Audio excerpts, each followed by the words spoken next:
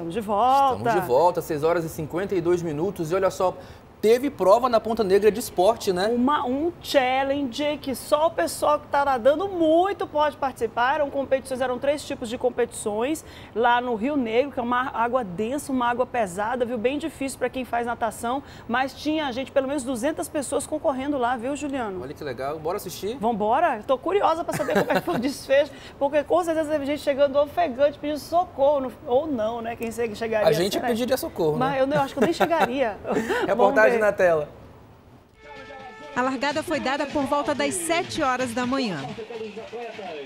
A expectativa era grande e não eram só os atletas que estavam ansiosos. A convidada desta primeira edição do Rio Negro Challenge 2019, Kai Francis, diz que ao assistir a competição sente a mesma emoção de quando era sua vez de nadar. Uma vez nadador, sempre nadador, você sabe, fica na adrenalina de até querer estar lá com eles junto nadando. Então a torcida é grande, assim, mesmo que não esteja nadando, mas você está lá com toda a adrenalina. O evento já está no seu quarto ano. O organizador do Rio Negro Challenge afirma que preparar uma competição como essa não é fácil. É trabalhoso, mas é prazeroso, porque a receptividade dos atletas, a dedicação dos atletas nos dá esse prazer de fazer. É cansativo, é trabalhoso, mas é divertido no final. Você vê, eu já tomei banho do Rio Negro, tem coisa melhor? Mais de 200 atletas competiram em três modalidades diferentes: 6 quilômetros, 4 quilômetros e 2 quilômetros. O primeiro nadador a completar a prova 2K chegou em 27 minutos e 19 segundos. Felicidade, né?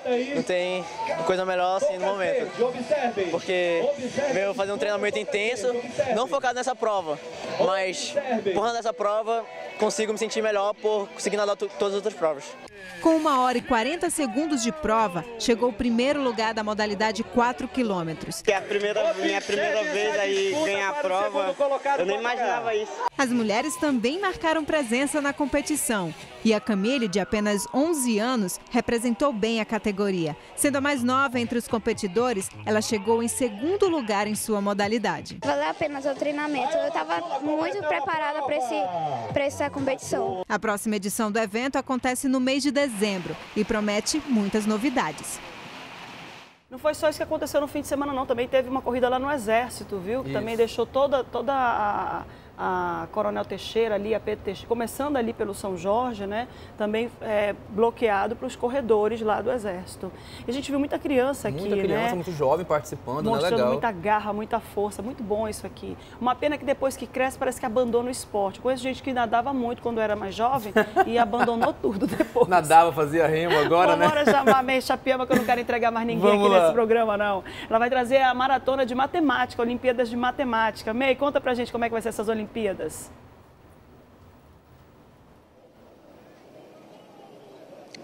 Pois é, essa Olimpíada, Olimpíada Brasileira de Matemática da rede estadual vai ser realizada amanhã em todas as escolas da rede estadual do estado.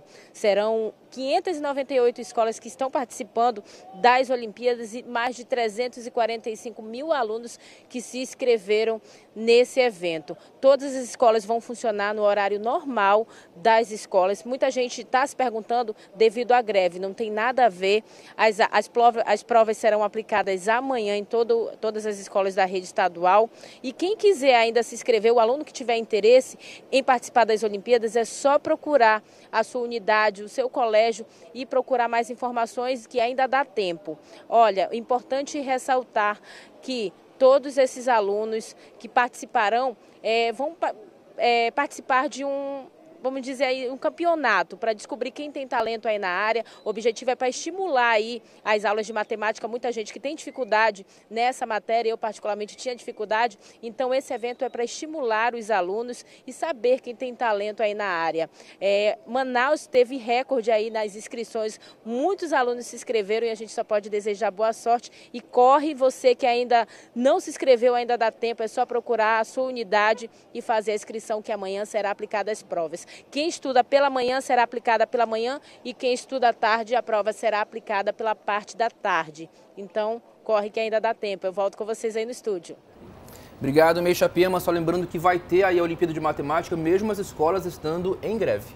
E olha, no fim de semana aconteceu uma seleção do, do Festival Folclórico do, do Marques, Marques, né? Uhum. E a gente vai trazer para você como é que foi essa seleção aí, porque muitos grupos folclóricos, grupos de várias danças participaram dessa seleção. Vamos ver? Vamos lá.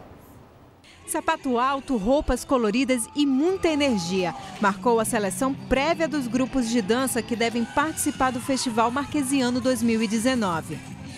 Para o vice-presidente da quadrilha Olinda na Roça, a expectativa é grande. Foram dias ensaiando para fazer bonito aos jurados e, quem sabe, conseguir uma vaga no festival. A gente sabe do nível de concorrência, são muitas danças boas, então, assim, a gente se prepara porque esse é um dos principais festivais da cidade. E Olinda na Roça saiu daqui com uma boa apresentação. E esperamos, sim, estar no dia da disputa. Mais de duas mil pessoas passaram pela triagem da 47ª edição do tradicional Festival Marquesiano. Os professores são os que coordenam toda a programação. Em princípio, não é fácil organizar um, um festival com essa dimensão. É, eu já venho de uma experiência da Vila da Prata há quatro anos e nós trabalhamos a partir de, de janeiro com as coordenações de dança, fazendo reuniões. Mais de 30 grupos folclóricos já passaram aqui pela quadra da Escola Marquês de Santa Cruz. Todas elas disputam uma vaga entre as 17 disponíveis para participar do festival que acontece nos dias 14, 15 e 16 de junho. Para os jurados, cabe a árdua missão de escolher os grupos que devem participar do festival.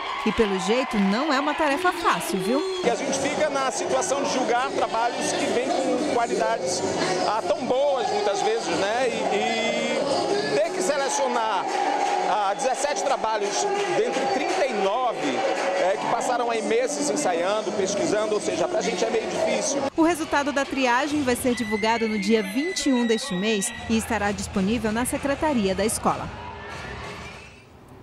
Festival Marquesiano, é Marquês. Vamos falar bonitinho. Festival vamos falar tradicional festival aí de Manaus, né? Tradicionalíssimo festival, muito esperado, por sinal, todo mundo para poder é, concorrer nesse festival folclórico aí. Vamos embora? É isso aí. A gente vai encerrar aqui, infelizmente nosso tempo não dá mais. A gente volta amanhã com 6 horas notícias com imagens lá do centro da cidade de Manaus. Imagens do drone do Davis Alberto. Um beijo, gente. Tchau. Até amanhã. Até amanhã.